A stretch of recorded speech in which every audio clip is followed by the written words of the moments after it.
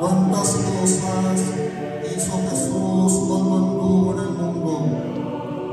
Los cojos caminaban, los leprosos eran limpiados, los desesperanzados ahora tenían esperanza, a los cautivos les dio la libertad, sus palabras daban sus palabras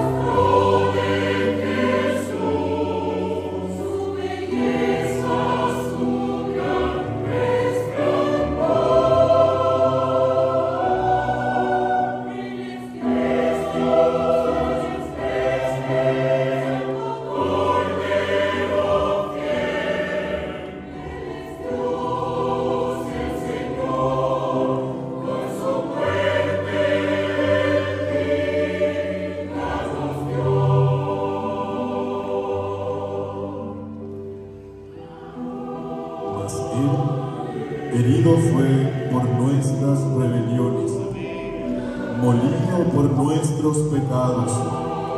El castigo de nuestra paz fue sobre Él, y por su llaga fuimos nosotros curados.